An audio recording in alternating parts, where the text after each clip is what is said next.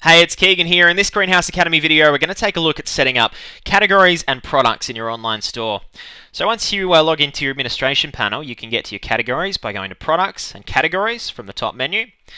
Categories is how you group and organize the products in your online store. And the first thing you'll notice here with the demo categories we've got uh, is that you can actually have a hierarchy of categories. So you can have categories inside other categories. For instance, in this example, we've got electronics, which is what we call a root level category or top level category.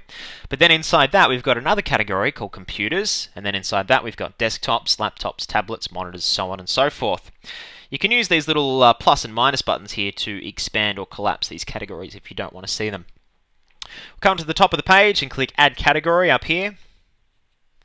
Type in the name for the category in the name box. So we'll call it shoes and then pick a location for the category. By default it's set to root level, which means it's going to be a root level category, but you can also put it inside another category. So for instance with shoes, we might put it in apparel.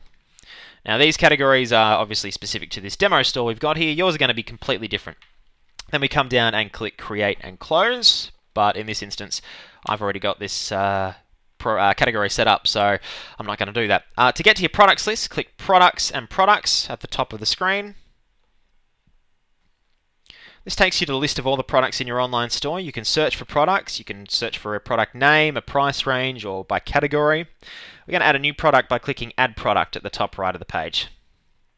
First thing we do in the name box is type in the name of the product as it's going to be displayed to your customers. So we're going to call it Red Vans Shoes.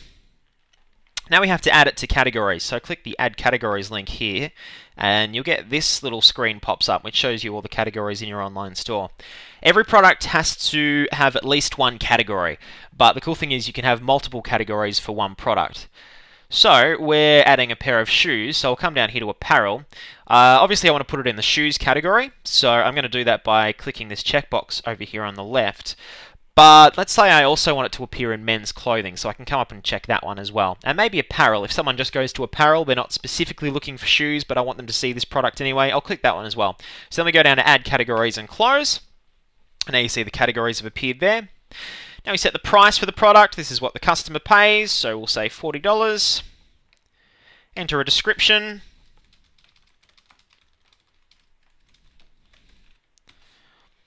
Uh, it's worth noting as well the description uh, can contain HTML, so you can have um, different size text, you can put pictures in here, any kind of stuff.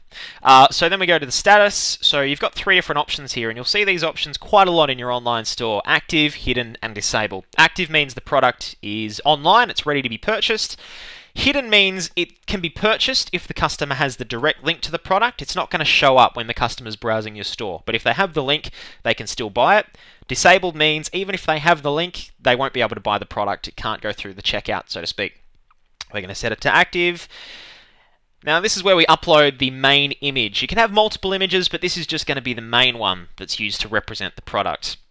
Whenever CS-Cart asks you for an image, you're going to see these three options here, local, server, or URL. If you want to upload an image from your computer, which is the most common option, click local, and you'll uh, be asked to browse for the, where the picture is on your computer. So I've got a picture of these red vans I'm going to upload here. Uh, now I'm going to come down and click on create. So it's going to create the product, but it's not going to take me back to the product list. It's going to keep me here so I can keep making some more changes. So you'll see it's uh, added my picture there. I'm going to scroll down a little bit. There's a lot of options which can be quite daunting, but we're just going to look at a couple of them. Product code is uh, pretty handy to use. You don't have to have a product code, but if you have a retail store and you have a inventory tracking system, that might come in handy if you want to have a sort of reference.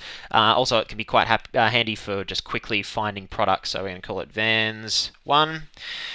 Uh, going to come down to in stock. This is how many of the product you've got in stock if you're tracking inventory. So I'm going to say we've got uh, 12 of those in stock. And then I'm going to come down here and check GST to make sure that we're charging GST for this product. Really important that you don't skip over that because it can be quite easy to miss. And if you don't check that box, then the customer isn't going to be charged GST, and GST is not going to appear on their invoice, which is going to cause you some uh, accounting problems. So then we'll click Save and Close, which saves all the changes I made to the product and takes me back to the product list and tells me my changes have been saved. Now if we go to the storefront, go to apparel and shoes, and there we go, the red vans that I've added. with the description and the picture and the price.